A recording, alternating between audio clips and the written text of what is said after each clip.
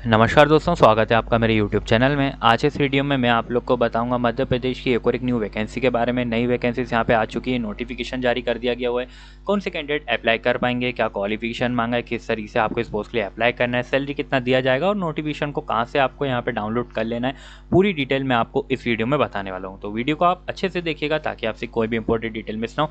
सारी चीज़ मैं आपको इस वीडियो में क्लियर कर दूँगा फ्रेंड्स ठीक है? तो चलते हम लोग सीधे इसके ऑफिशियल नोटिफिकेशन और सारी चीज़ चेकआउट कर लेते हैं। तो ये नोटिफिकेशन है आर्ट पेज का फ्रेंड्स ठीक है? उससे पहले जो लोग मेरे चैनल पर अभी नए वो चैनल को सब्सक्राइब कर लीजिएगा बेल आइकन को प्रेस कर लीजिएगा ताकि आने वाली कोई भी जॉब अपडेट वीडियो आपसे मिस ना हो। यहाँ पे सारी वैकेंसीज की नोटिफिकेशन लेकर आते रहता हूँ, चाहे वो एम नॉर्थ सेट से हो एन एच एम से हो सी एच ओ से हो तो सबके यहाँ पे नोटिफिकेशन आपको देखने को मिल जाएँगे। तो आप चैनल को ज़्यादा से सब्सक्राइब कर लीजिएगा। अब नोटिफिकेशन आप देख सकते हैं, जो कि यहाँ पे लोग स्वास्थ्य व चिकित्सालय विभाग अधीन शासकीय चिकित्सालय महाविद्यालय हेतु सहायक प्रबंधक के पदों के लिए नियुक्त हेतु विज्ञापन। 24 सात 2024 को यहाँ पे दिनांक को ये आया था, जो कि यहाँ पे आप देख पाएँगे कितने बजे तक आप यहाँ पे जो है इसमें ऑनलाइन आवेदन कर सकते हैं, शाम पाँच बजे तक, बीस आठ दो इसकी लास्ट डेट है। तो अभी काफ़ी समय आप लोग के पास। अब यहाँ पे जो सीधी भर्ती है, ठीक है, सहायक प्रबंधक व पदों के लिए नियुक्त नियुक्ति सीधी भर्ती की प्रक्रिया के माध्यम से करने हेतु पदों का अवग्रहण विवरण निम्नानुसार है। तो सहायक प्रदर्शन आप देख सकते हैं, जिसमें anatomy physiology biochemistry pharmacology pathology microbiology तो अलग अलग यहाँ पे आपको इसमें जो है पद के नाम देखने को मिल जाते तो यहाँ पे कैटेगरी वाइज आप इसमें पोस्ट भी देख सकते हैं। तो रिक्त पद की संख्या दी गई हुई है। रिक्त पद के मध्य प्रदेश के मूल निवासी, महिला अभ्यर्थियों के लिए हेतु आरक्षित पदों की संख्या दी गई हुई है और रिक्त पदों के लिए यहाँ पे जो है दिव्यांग जन के लिए भी यहाँ पे इसमें जो है यहाँ पे पोस्ट दी गई हुई तो जिसको यहाँ पे आप चेकआउट कर सकते हैं। नेक्स्ट स्कॉल करेंगे तो यहाँ पे जो है आप लोग को कम्युनिटी मेडिसिन उसके बाद फॉरेंसिक मेडिसिन नेक्स्ट यहाँ पे जनरल मेडिसिन उसके बाद यहाँ पे जो है आप लोग को इसमें general surgery E N T उसके बाद ऑप्टोमोलॉजी इस तरीके से अलग अलग यहाँ पे जो है आपको पद नेम देखने को मिल रहे हैं। तो यहाँ पे पूरा आप चेकआउट कर सकते हैं, पूरा यहाँ पे टेबल दिया गया हुआ है।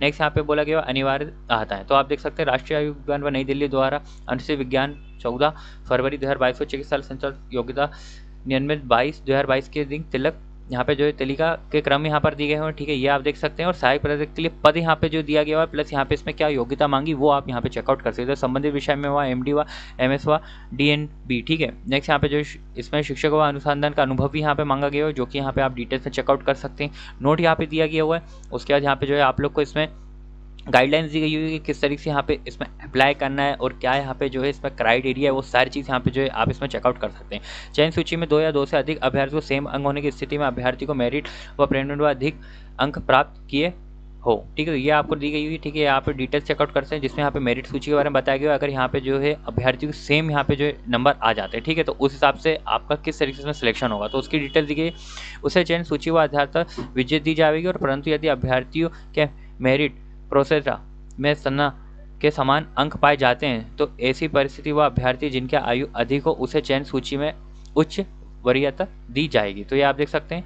नेक्स्ट यहाँ पे जो है, इसमें टिप्पणियाँ दी गई हैं, जिसको आप पढ़ सकते हैं। मध्य प्रदेश के मूल निवासी की डिटेल्स यहाँ पर दी गई है। आरक्षण के लिए आयु सीमा यहाँ पर दी गई हुई है, और उसके बाद आवेदन हुए संदर्भ में आवश्यक अनुदेश यहाँ पर दिए गए हुए हैं। अब यहाँ पे आप देख सकते हैं, बीस आठ दो हज़ार चौबीस, पाँच बजे तक ऑनलाइन आवेदन पात्र आमंत्रित किए जाएँगे। विलंब प्राप्त आवेदन के लिए ऑफलाइन आवेदन पात्र नहीं माने जाएँगे। आवेदन सुरक्षित कर ले कि उसके द्वारा आवेदन पात्र व हस्ताक्षर व सुरक्षर उपस्थित सूची व संचालक, चिकित्सालय, छठवीं मंदिर, सतपुड़ा भवन, भोपाल में समस्त पात्र व्यवहार के कार्य और विभिन्न अभिलेख व हस्ताक्षरों के सामने न होने पर आवश्यक की उम्मीदवार निरस्त की जा सकेगी। आवेदन का शुल्क देख सकते हैं। यहाँ पे जो है आपको पेमेंट का स्क्रीनशॉट देना होगा, जिसमें यहाँ पे जो account number I code bank branch और यहाँ पे जो है आपको ब्रांच कोड दिया गया हुआ है। फ़ीस यहाँ पे आप देख सकते हैं, पंद्रह प्लस यहाँ पे जो है आप लोग की इसमें दो हज़ार पाँच सौ तो ये आप लोग को कैटेगराइज डिटेल्स देख सकते हैं, जो कि मध्य प्रदेश वालों के लिए फ़ीस है और यहाँ पे जो है अदर वालों के लिए फ़ीस है, मध्य प्रदेश के बाहर निवास वालों के लिए। तो आयु संबंधित की डिटेल्स दी गई हुई है संविधा के अनुभव व प्रमाण पत्र उसके बाद यहाँ पे जो है शोध पत्र इसकी डिटेल्स दी गई तो आठ पेज का नोटिफिकेशन था, जिसको आप चेकआउट कर सकते हो लास्ट डेट कब है तो आवेदन करने की अंतिम तिथि बीस आठ दो हज़ार चौबीस से शाम पाँच बजे तक यहाँ पे ऑनलाइन आवेदन यहाँ पर बात मान्य होंगे। तो ये थी डिटेल्स जो कि मैंने आपको क्लियर कर दी है। अब आप इसके ऑफिशियल वेबसाइट पे जाके इसको डाउनलोड कर सकते हैं। ऑफिशियल वेबसाइट कहाँ पे मिलेगी तो वो मैं आपको बता देता हूँ। जैसे स्क्रॉल करेंगे, यहाँ पे ऑफिशियल वेबसाइट दी गई हुई है। यहाँ पे आप देख सकते हैं, नियम ऑफिशियल वेबसाइट ठीक है medical education dot M P dot G V dot in पर उपलब्ध रहेगा। तो यहाँ से आप सारी चीज़ डाउनलोड कर सकते हैं, इसका नोटिफिकेशन डाउनलोड कर सकते हैं। तो आई दोस्तों वीडियो आपको काफ़ी पसंद आएगा जिसमें सारी चीज़ क्लियर कर दी। अब भी अगर कोई नई अपडेट आती है इस बारे में, कुछ पता चलता है तो आपको पूरी डिटेल्स प्रोवाइड करवा दी जाएगी। तो आप चैनल को सब्सक्राइब कर लीजिएगा, वीडियो को शेयर कीजिएगा लाइक कीजिएगा। मिलते हैं हम लोग नेक्स्ट वीडियो में।